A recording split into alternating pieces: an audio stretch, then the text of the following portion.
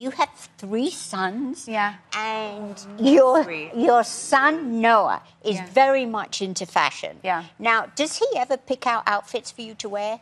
He does. He designs. He draws outfits, um, and then when I do Wow. fittings, yeah, he's very he's very talented. And but but he's still sick, so when when I do fittings, like I did one recently, and I had this really beautiful yellow dress on, and he kept draping it in a way where he was like, "If we do it like this, it looks like a diaper." Was like, that's, wait, that's not what we're going for this, time, but maybe next time. So he's he's really into fashion, and he's the one like sometimes he'll he'll dress himself, and he likes to wear dresses sometimes, and he'll and I send him to a really liberal like hippie school, but even even there here in California, he still has little boys going like boys don't wear dresses or boys don't wear pink, and so.